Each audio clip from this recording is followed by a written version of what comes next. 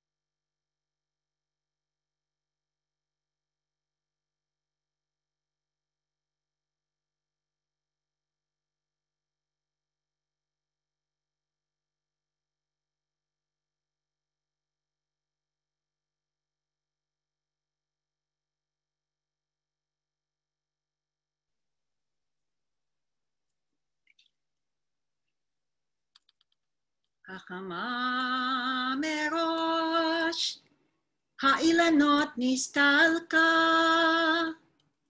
בואו ונצא לקראת שבת המלכה.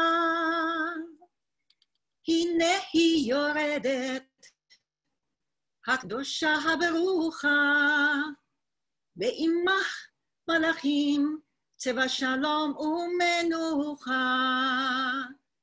בואי, בואי, המלכה, בואי, בואי, הקהלה. שלום עליכם, מלאכי השלום. The sun is receding from the treetops. Come, let us go and greet Shabbat. She descends with angels right to my left, legions of peace, come, come, welcome angels, welcome brides of peace.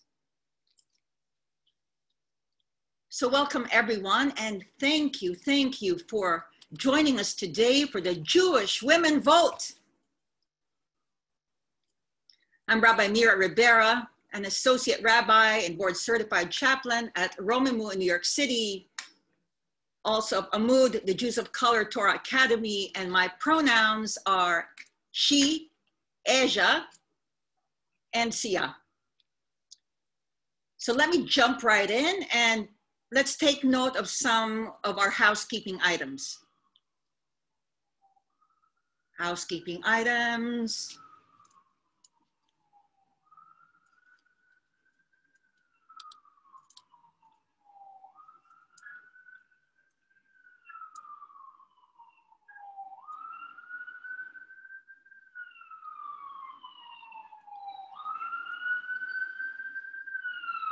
And housekeeping items done with only 18 days until the election. I hear the ambulances saying to the fore, we Jewish women gather today to celebrate voting, one of our core responsibilities and gifts in democracy. Two notes about our, our program today. This program, first and foremost, is nonpartisan. It is about the power we exercise when we cast a ballot, not about specific candidates running for political office or political parties. Secondly, we use women expansively to include anyone who identifies with this term, cis women, trans women, femme and feminine identifying, gender queer, and non-binary friends.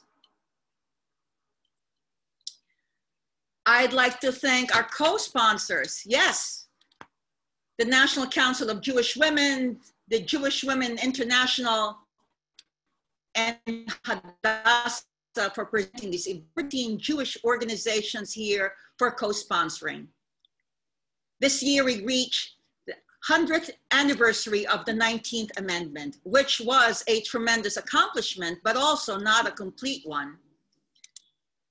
While the 19th Amendment expanded voting rights substantially for women, it did not offer suffrage to every woman or address the barriers that prevented and still prevent Black, Indigenous, people of color, disabled folks, LGBTQ people, and minority language speakers from voting. We know that our democracy is at its strongest when every voice is heard, so we celebrate the centennial anniversary by pledging to work together to complete the still unfinished promise of the 19th Amendment. One way to do this is to encourage every single woman we know to vote. I'm inspired by all of you gathering today to make our voices heard, and I am inspired by all the women who will be gathering this weekend. We know firsthand the power women have when we team up to shape a better world we begin the celebration of voting by lighting the Shabbat candles, spreading the joy and glow of memory and holding of tradition, lighting the lights where there's darkness in the end corners. You can read along with me first in Hebrew and then in English. ברוך אתה אדוני, אלוהינו מלך העולם, אשר קידשנו במצוותיו וציוונו להדליק נר של שבת. Blessed are you, source of life, Yod Vav the eternal, who follows us with mitzvot and calls us to this mitzvah, commanding us, inviting us to light the candle of Shabbat.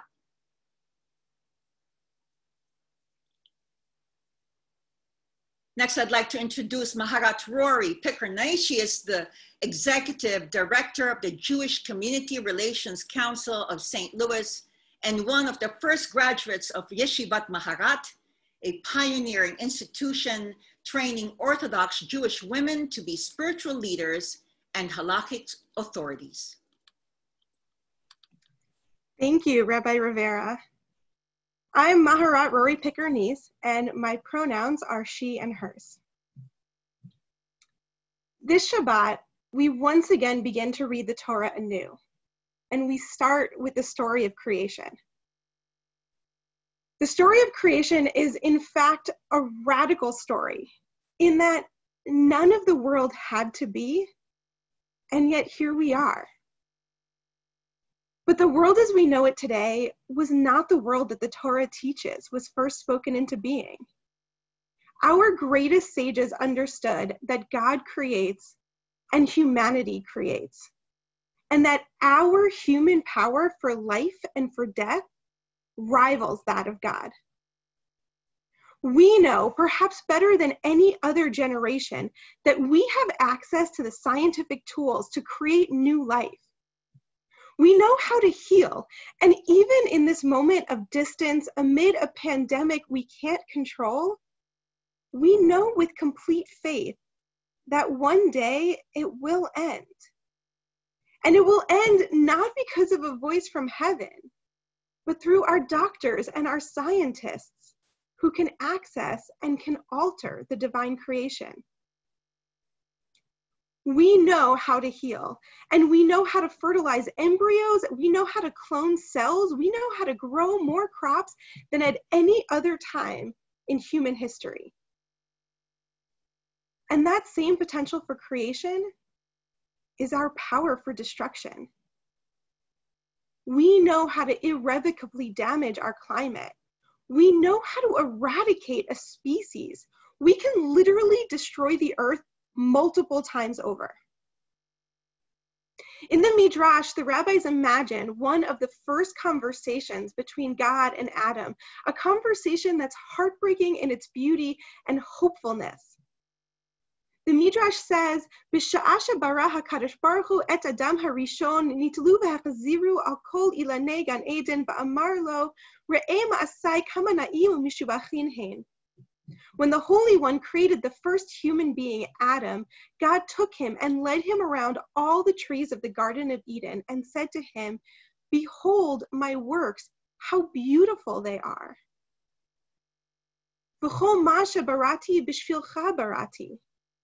All that I have created, I have created for you.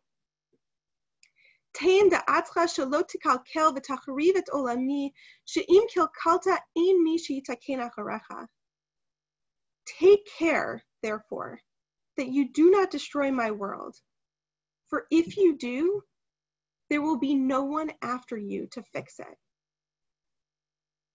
We have the power to destroy the world. The world as it exists today is the creation of humanity and each and every day, we renew and reconstruct through our actions and our choices. And so, as we prepare now to enter Shabbat, a day that the Talmud teaches us is 160th of the world to come, a taste of the aspirational ideal, we pause and we reflect on what the world can be so that next week and the week after that and the week after that we can continue in our never ending work to realize that more perfect world. We are all creators, whether we signed up for it or not. Every day we make choices. And if we are not actively choosing to help, if we are not actively choosing to heal, if we are not actively choosing to create, then we are complicit in destruction. And there is no one who will come after us to fix it. Every one of us has a choice to make between today and November 3rd. But let me emphasize that we are going to make a choice again on November 4th and again on November 5th and every day after that. Because this world is one that we have created. It is up to us to care for it. And no one is coming to fix it for us, and none of us get to sit it out. So let's enjoy this moment of Shabbat. Let's taste the world to come. Let's vote our ideals and then let's continue in our never ending work to realize that more perfect world according to each of our visions of what that perfection can be. And now, it is my privilege to introduce Debra Messing, who is an actress known for her work in Will and Grace, The Starter Wife, and Smash, host of the Dissenters podcast, and co founder of I Am a Voter, in conversation with Jaclyn Friedman, author of several books, including Unscrewed, and co editor of most recently Believe me, Debra. How Great. Trusting Women Can Change Excellent. the World. Okay.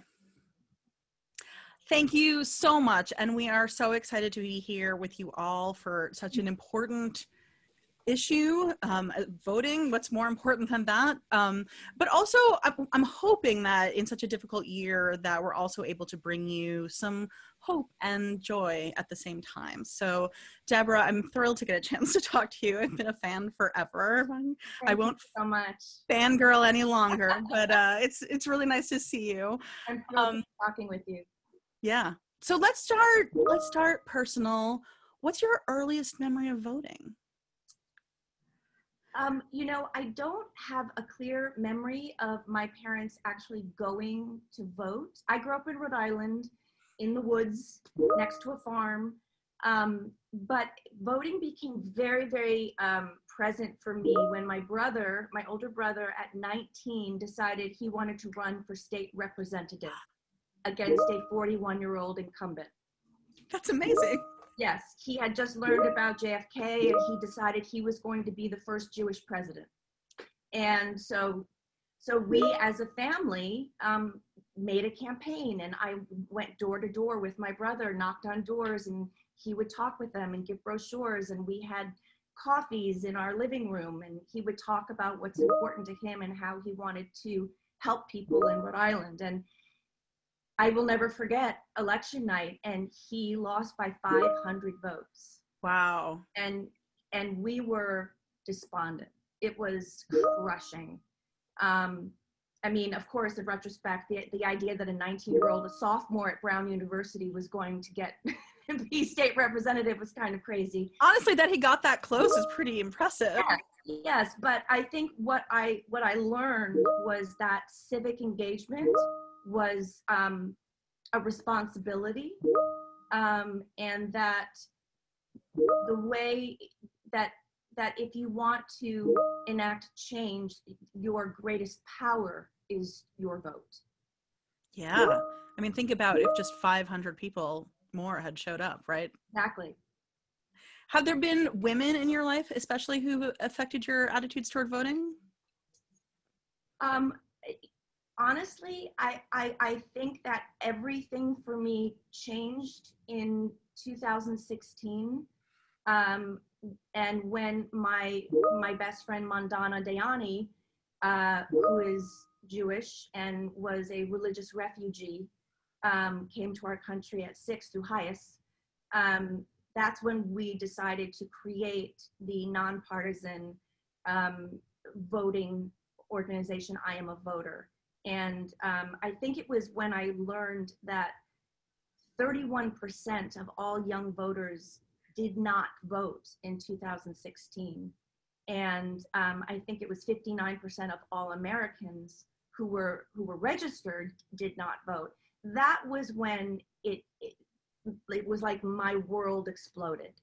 You know, I had gone through life assuming that everybody voted and that you know it was just the will of the people and that democracy is beautiful but then when i found out that so many people were not engaging um, that really it, it was disturbing to me and it was heartbreaking to me and um, so now I, I feel like i'm um, i have a i have a, a purpose right now to to try and get people to to embrace their power you know, because we all know in America, unfortunately, we're not all equal yet. Mm-hmm. Uh, but when it comes to the vote, when you walk into that that um, election room and you pull the, you know, you do whatever you do, you are equal in America. Every vote is equal.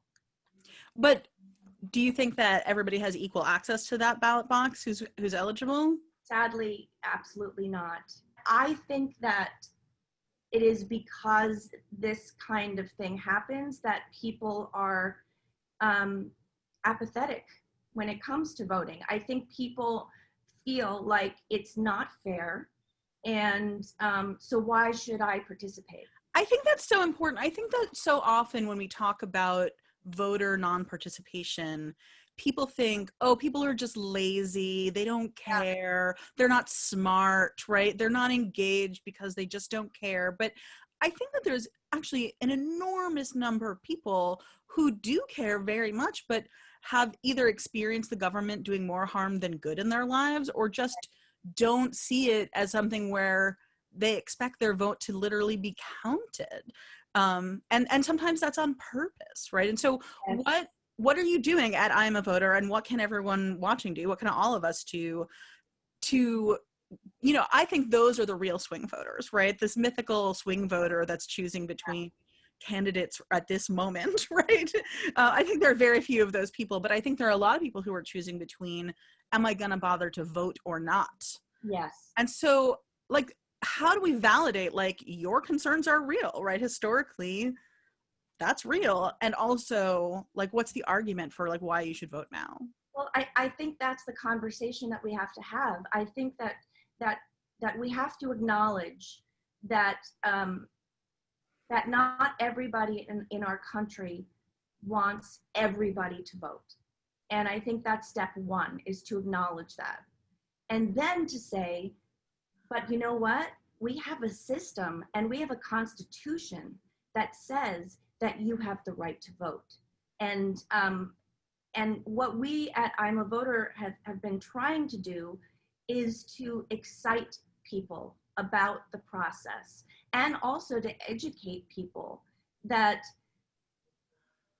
voting voting not only for the top ticket but down ballot mm-hmm. has a direct re- re- just a, a effect on your life in your small community.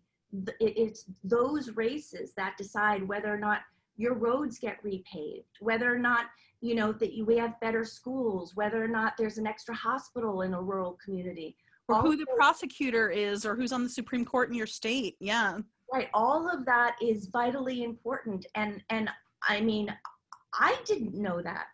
I didn't know that. And um, so it's been an extraordinary education for me. And so what, what we have done is we have put together a platform to make things easy for voters. So what we did was we said, text the word voter to the number 26797. And if you do, you'll get a little text back and you can get registered.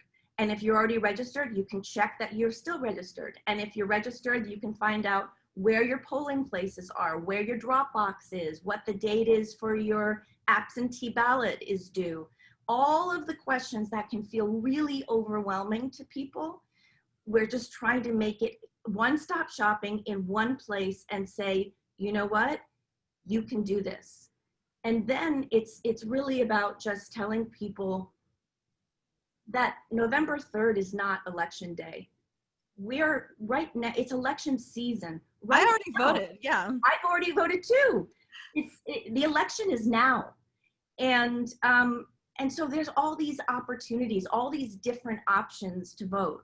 And so all we do is to is to say, please make a plan because what we've learned is if you make a plan and if you take on the identity of I am a voter versus I'm going to vote, we have learned in the data that that it will make you a lifelong voter. That's so cool. You know, I was raised like absolutely I am a voter, right? It never occurred to me yeah. to vote. And that's absolutely been my experience, but I didn't know that was right there in the research. Yeah. I I also have to give a shout out to your Instagram presence. Um the, they're amazing like cele- all kinds of celebrities and people you might look up to are using the I am a voter hashtag. Lizzo did one the other day that was amazing. Yes, yes. and so I, I see you I, I see you i want to say i see you and i see you reaching across generations too um it's been really exciting. You know and and um and and that's what we want people to feel is that you know we're all americans. We you know there's there's been this this feeling of divisiveness the last few years that has been painful for all of us. And i think what we're trying to do is to say we don't want to break people up into factions. We want people to just be proud americans and to participate yeah. and, and to know how good you will feel after you do it. And then it's just a matter of making it you know making it easier for people. So you know as you said on my on my instagram i i post you know uh, websites where you can find out the positions of every single candidate in your small district you know to help you understand what am i voting for? What do i believe in and i i think that once you have information it's empowering. Absolutely. And that seems to me like a really jewish value as well right absolutely. Education is empowering and education is is the key to our power. And as much as i totally co-sign we're all americans and and this unity message we're also here today as jewish women specifically. For me voting feels really jewish because it feels like such a part of tikkun olam such a base part of it. And but also my as a as a lifelong activist my Jewish touchstone has always been the teaching from the Pirkei Avot. It is not yours to to complete the work, but neither is it yours to desist from it, right? And I think that people sometimes get cynical about voting because it's not going to fix everything, right? It's Right. not radical enough, or you know, it's what's it going to change? But but I really feel Jewish about this is a thing I can do and Yeah. i'm it's, it's not on me to do everything but i'm not free to desist and i'm definitely not free to give up my power to take action for social justice so do you relate to, to voting from a jewish place I do. You know, my, my father was president of the um, the Jewish Federation of Rhode Island. My mother was vice president of the Business and Professional Women of. Um, she went to nationals. My father was president of the of the Temple. You know, I have a, a very strong Jewish identity, and and for me, what is the thread throughout all of the, all of it is is justice and equality. Um, I, I I think that because we experienced a genocide with the Holocaust, we I was taught by my parents that it is my obligation to have children to help replenish the people that we've lost, but also to make sure that we never forget mm-hmm. and um, and I think the thing that that feels so urgent to me is to look around and to see the rise of anti-Semitism. Um, you know, with Charlottesville and and seeing Nazis walking through the streets with torches saying Jews will not replace us.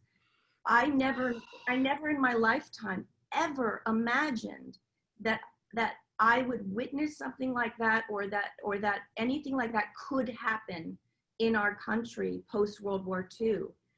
And um and and so now it feels like as a Jew, it's my responsibility to vote for people who say no, hate cannot be endorsed. And to say that um, I stand with people who are considered others. You know, I grew up in Rhode Island. I was one of three Jews. I had a swastika painted on my grandfather's car in my driveway when I was a little girl, and it it changed me. And I grew up feeling like an other. And I think because of that, you know, I really have deep, deep compassion and I identify with people who are African American, people who are um, indigenous, people who are um, differently abled, every people of color, everybody, uh, Muslims, people who are are attacked because they are not white and Christian, and um, and so I feel like regardless of what's happening with us as Jews, um, it is a Jewish value that we stand up for people who are being um, persecuted. And um, and and right now it it feels like more than ever in in my lifetime, uh, voting will have a direct impact on on the direction of our country. And and for me, um, you know, I I I just I I don't want my son growing up in a place where he feels like he's not safe because he's Jewish. Yeah. Yeah. Um, that makes me want to talk to you about a guest you recently had on your amazing podcast, The Dissenters. So powerful. You recently talked to Dr. Edith Eva Eger, who's a clinical psychologist and a 93 year old Holocaust survivor. Yeah. Um, she talked so movingly about uh, what it felt like as a child who was ripped from her mother by literally Dr. Mengele. Uh, and watching children being ripped from their parents at the border and, and everything that brought up for her. I mean, it couldn't be more present, all of these things. Yeah.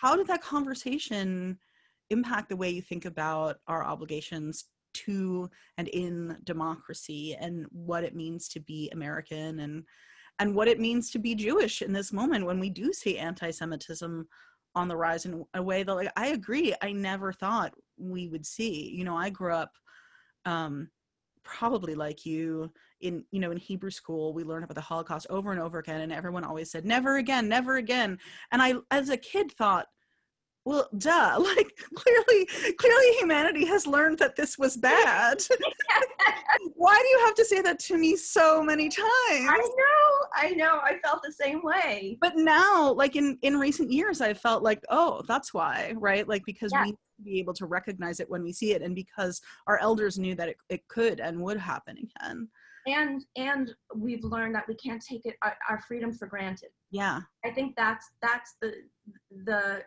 the lesson that I've learned in the last few years. Um, but talking with Dr. Eger I, I mean, you know, it was very, very important to Mandana and I to to have a Holocaust survivor on on our podcast, um, someone who has lived it, who has witnessed it, um, because we learned that right now, two thirds of millennials in America, when asked what Auschwitz is, don't know. And just for everybody watching, the millennials are not 20. They're like in their mid 30s, right? They're These are not kids. 30s, mid- Yeah. and they don't know what Auschwitz is. To me, that just felt like we have we failed. And you know, there there is no requirement to teach about the Holocaust in schools. And and um, so to hear her story at 16, you know, to to go and um, for Dr. Mengele to take her mother and say, Your mother's just going to go take a shower. You'll see her in a few minutes. And then someone next to her pointing to the fire and saying, Your mother's being burned right now. You- should start talking in past tense. I mean, it, you know, to to hear that story from this woman, but then to hear her how she survived and how she she looked to America as a beacon of hope and how she got here and how she was able to build a family and go to school and get her doctorate and you know and and she is this incredibly accomplished person who out of this pain decided to become a healer.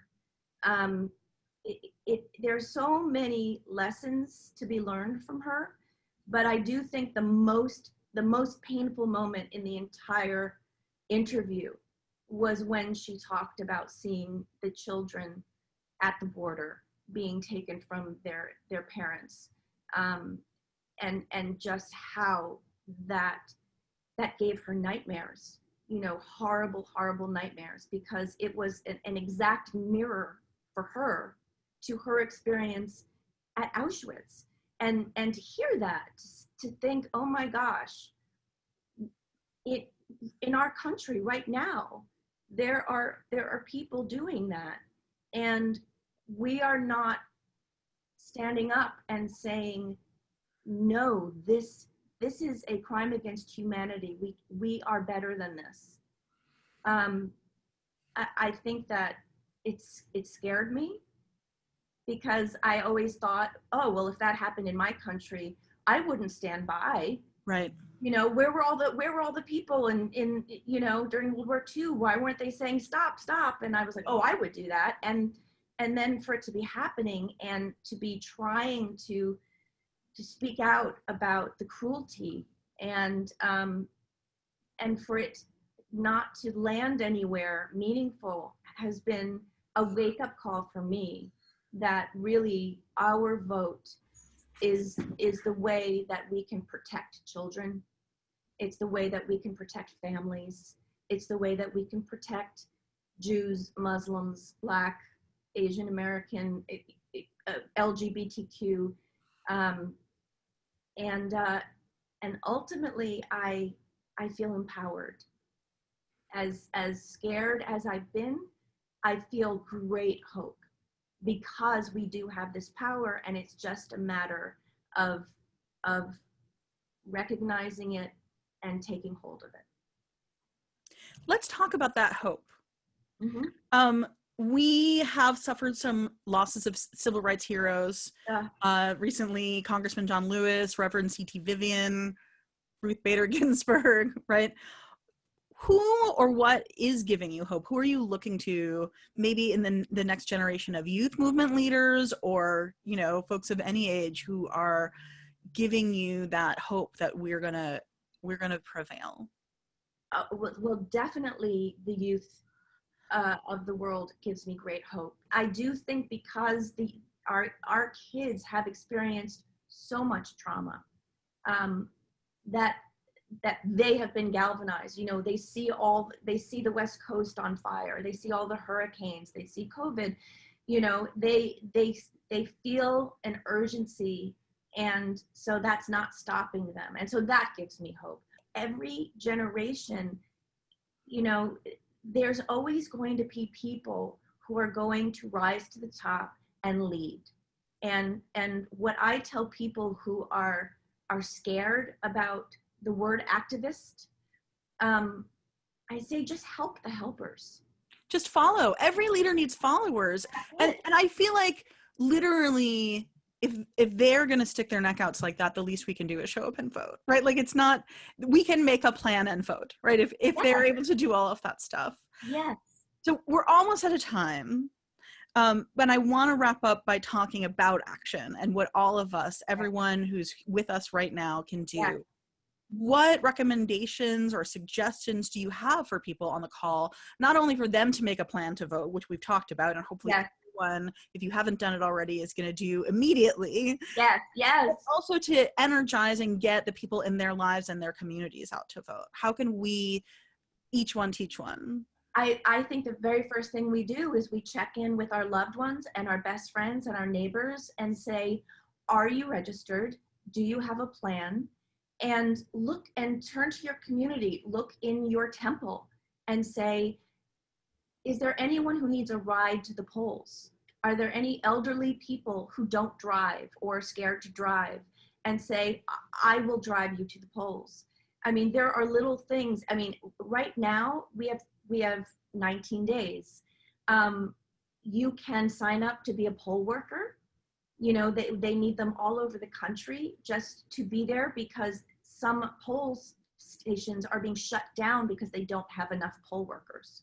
And obviously, when they're shut down, that means that people are not going to be able to vote easily in that particular community. So you can you can sign up to be a poll worker. You can sign up to Text Bank, which I love because you can sit on your couch and no one has to see you and you know and you just sit on your computer and they give you they give you all of the things and all you're doing is calling people and saying hey you know are you registered? If not i can help you. Do, do you know do you need to know where your polling place is? I can help you with that.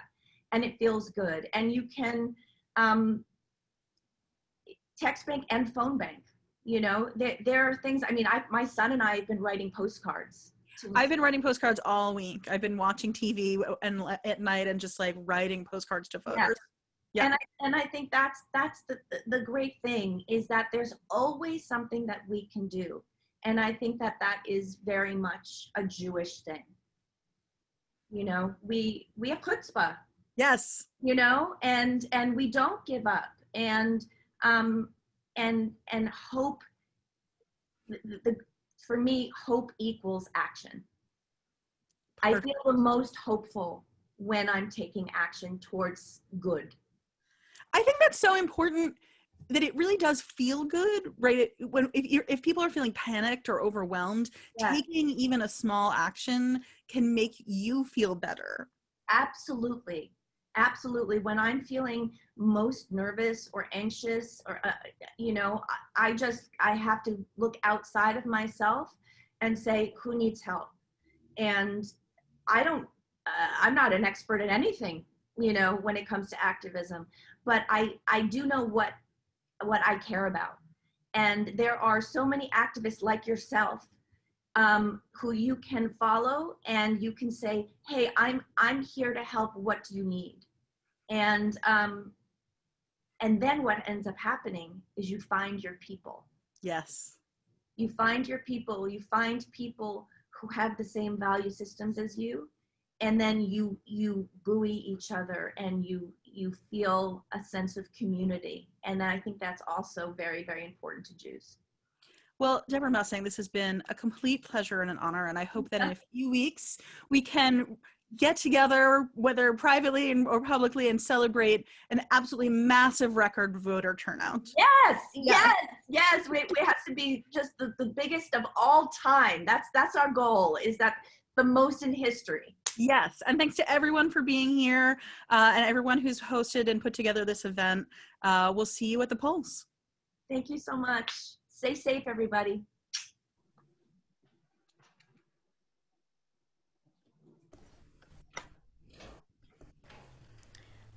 What an inspiring and exciting conversation. Thank you so much, Debra and Jaclyn. I'm Rabbi Isaama Goldstein Stoll, senior Jewish educator at Yale Hillel, and I use she, her pronouns. And I'm author and activist Abby Stein and an ordained rabbi, and I also use she, her pronouns.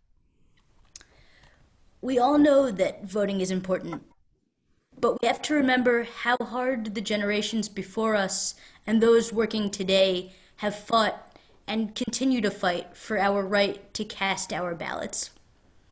Many of you I see have already voted or have made your voting plan, but we want to talk through this process together to make sure that you have all the tools you need both for your own participation in this essential democratic right and so that you can help those in your community as well. So, here are five things to know to get ready for the election. Okay. Make a plan for voting a plan A, a plan B, and a plan C. A voting plan involves knowing when and how you will vote, what time, where, and how. Take five minutes to get clear on your logistics and to make sure you know how else you might vote if you were not able to make Plan A happen. What other times could you vote? What, what other options do you have? What happens if you're not able to get that ride, to get that childcare? And what might a Plan C look like? Number two, if you're voting remotely, here's what you need to know. If you've requested a mail in ballot but are still trying to decide what to do, here's, here's the plan. First, check your state's mail in ballot requirements carefully before you fill it out. Read the instructions on your ballot. This is super important, so I'm going to repeat it. Read the instructions on your ballot. Some states require you use a black pen. Some states have requirements about how you have to seal the envelope, whether there are witnesses, if you need to include an ID, and where you can drop off your ballot. If you haven't mailed in your ballot, you should do so as soon as humanly possible. Given the complications with the USPS, this should be no later than this coming Tuesday. Another possibility is to drop at drop it off at uh, at an official secure ballot drop box. Your city and county should have listings of all the kosher ones in your area. Hey, let's talk about if you're planning to vote in person. If possible, vote early. But note that because of physical distancing and other constraints because of COVID, the wait might be a bit, a bit longer than usual. Know your rights. If you make a mistake on your ballot, ask for a new one. If the machines are down at your polling place, ask for a paper ballot. Also want to add, look up the laws in your state if you are allowed to post a selfie or a picture of your ballot. And that could get important, specifically if you want to encourage other people to vote. But in many states, like in New York, that is illegal and in some cases might invalidate your ballot. Whether you vote in person or remotely, the sooner, the sooner you can vote, the better. And the sooner you mail or drop off your ballot, the better.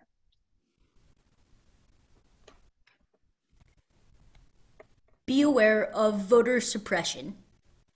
Election day is a time when a lot of voter suppression happens. This is a time when you can be helpful in helping to fight for people's right to participate in our democracy. Know that everyone who is already in line to vote on election day by the time the polls close is legally entitled to vote. Spread the word, tell people to stay in line. If you personally witness voter suppression, ask the person impacted to stay put, and call the Election Protection Hotline. Save the number in your phone so that you have it handy if you need it.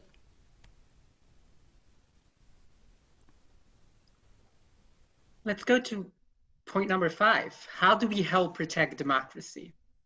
If you're able to show up as a poll worker or a poll observer, that's especially critical this year when so many people who typically fit those roles are at a higher risk category when it comes to COVID, so they might not be there. There are other ways you can help as well. Bring a pizza and some water to people waiting in line, specifically in places where there are long lines. Offer to help others with making their voter plan by offering a ride or helping out with childcare. We should all pitch in in every way we can for democracy. Let's all commit to vote now. Okay? Please repeat after me, even if you're on mute, and then you can put your answers in the chat box. I, state your name, am a voter who will vote by, tell us how. Great work. Now I'm pleased to introduce educator Rabbi Lori Kaufman. Thank you so much for that. Um, I am Rabbi Lori Kaufman, and my plan, I live in Manhattan, is to vote early. And early voting in Manhattan is October 24th to November 1st. One of the things one of the things that I love so much about Judaism and about our tradition is the ability to um, sanctify time. And um, one of the ways we do this is through blessing practices. So I'm going to invite us all now to uh, say a blessing for voting. The blessing goes as follows. Please feel free to join me if you would like. Baruch ata Adonai, Eloheinu melech haolam, shemitztapeh me'itanu la'asok b'divrei ba'avodat ezrachut hamedina. Blessed are you, God, sovereign of all, who expects us to engage in the work of citizenship in our country. I invite us to say this not just together now, but to actually take it with you into the voting booth and to say this blessing as you are voting, to take the time to realize that voting is not just an act that is a civic act, it's actually an act that is very Jewish. It's holy. It's the way that we actually help make a difference in this world. It's the way that we actually can change the world. It's the way that, as Maharat Rori Picker Neiss said, we can be part of creation. It's the way we can be part, as Debra Messing said, Messing said, uh, being part of justice and equity. So um, this voting blessing is one that reminds us that by voting, we can make the world a better place. I'd now like to introduce Rabbi Sandra Lawson, Associate Chaplain for Jewish Life at Elon University, who will lead Kiddush and close us out.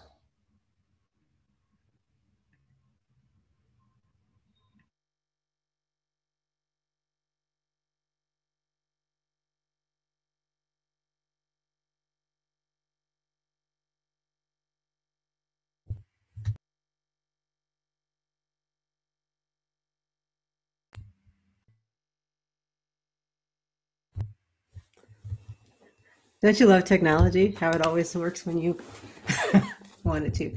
Hi. Um, thank you so much for this opportunity. I'm just really um, amazed and blessed to be in the same space with all of these amazing people. And um, it is my pleasure to offer uh, Kiddush and um, a blessing. And um, I just want to give just a, a little brief kavanah um, about what it means for me as a Black woman to vote um, my parents grew up in the segregated Jim Crow South and did not have the opportunities that I have. And so I don't take voting for granted. And my wish is that you do not as well. And so with that, Allah for a blessing. Baruch. Atah Adonai Eloheinu melech borei peri hagafen. Blessed are you, God, creator of all the fruit of the vine. And so, as we close out today, um, I'm going to write, I'm going to sing a song um, that I wrote um, about five years ago, witnessing oppression of a marginalized group that I did not belong to. And today, I think it fits um, for us today. It's about peace. Um, and resilience.